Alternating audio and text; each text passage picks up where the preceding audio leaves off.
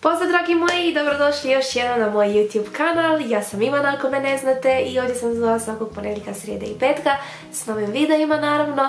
Ako vas se zanima ono čime se bavim, definitivno se pretplatite, dolazi još puno toga, a puno toga je već na mom blogu, tako da, odnosno kanalu, tako da definitivno možete baciti oko i kroz ono što je već ovdje. A danas za vas sam pripremila jedan video koji ste zahtjevali, a to je bila kolekcija preparativne kozmetike. Dekorativu sam već snimala i taj video ću linkati ispod.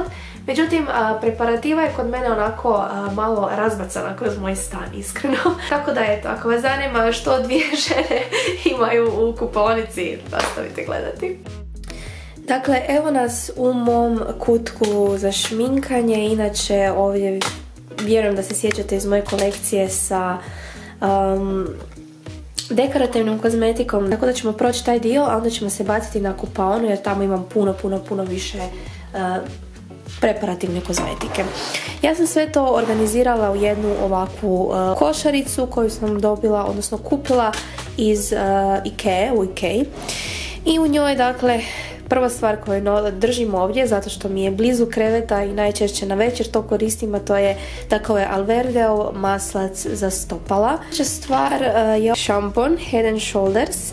moram reći da inače ovo stoji u kupaoni, ali budući da smo prošli vikend da dragi ja bili u toplicama kako sam se raspakiravala, samo sam to tu ubacila, tako da to tu stoji. Imam dva leave-in regeneratora, dakle jedan je Sajosov, izračito dobar regenerator, međutim malo mi iskreno previše olakšava kosu, da li to ima smisla ne znam, ali u principu da, zato i koristim među vremenu i ovaj glisav koji malo više daje težine moje kosi, pa onda ajmo reći nekako lakše baratam s njom. Ovo su dva proizvoda dakle, koja ja i sestra zajedno koristimo, dakle Davov i Fa Dezić. Ovo je također nešto što inače u mojoj kupaoni, ali kako sam se raspakiravala od toplica ostalo je to.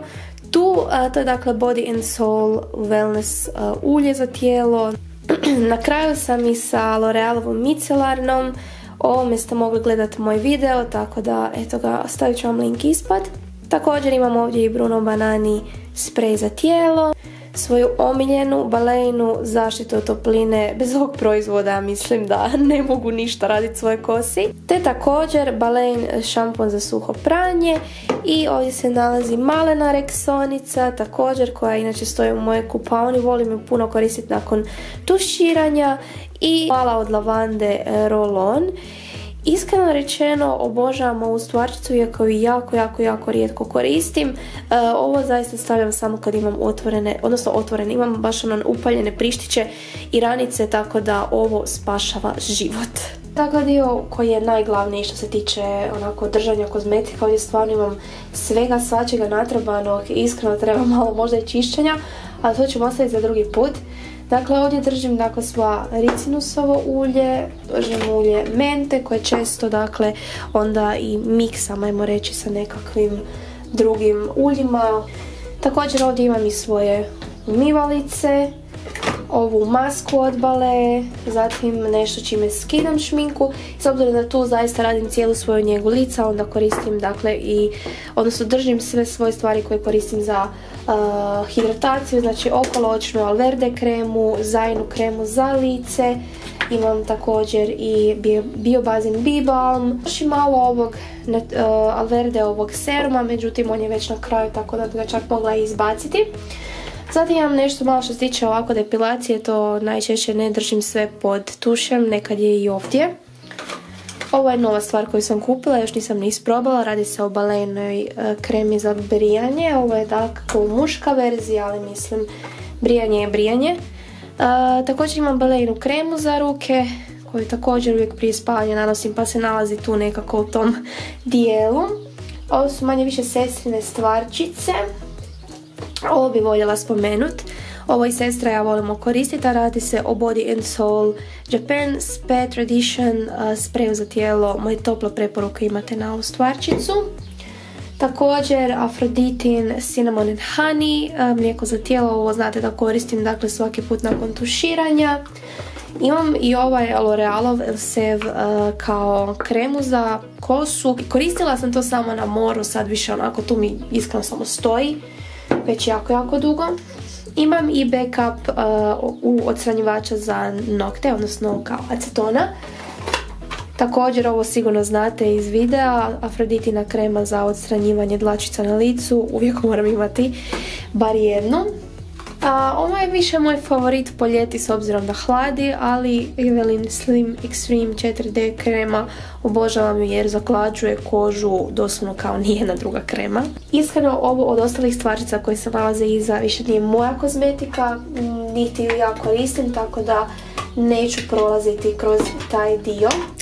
I također ovo je hrpa stvari koje sam skupila ovako random po kupaoni. Nešto je dakle ispod tuša bilo, a nešto je bilo u posebnoj polici. Dakle imam naravno Balea Men kremu za, odnosno pijenu za brijanje. Ovo je odlična pjena, iskreno moje tople preporuke. Nešto što stoje uvijek ispod tuša je moj um, Le Petit šampon kojeg preporučujem, obožavam, zaista odličan proizvod. Ista stvar je i za Zainu Goat's Milk masku, to je inače mom tušu, ali evo sad je ovdje kako bi vam mogla pokazati. Imam i još Sajos Salons Plex. Regenerator za kosu, to sam kupila kad sam farbala kosu u roza, još uvijek imam cijelu punu bočicu, tako da ako bude nekakvih egzibicija s bojom, spremna sam. Imam još malu zalihu ovog balejnog šampona, iskreno koristim ga za pranje kistova. Ispod tuša uvijek mi stoji moja Body and Soul četkica ko, bez koje iskreno ne mogu više zamisliti pranje svoga lica i umivanje i skidanje šminke. Imam nekoliko i lašovih proizvoda, moja kolegica Iris uvijek mi donese nešto iz laša, to je valjda postala kod tradicija. Tako da evo ga, ovdje imamo ovaj regenerator za tijelo.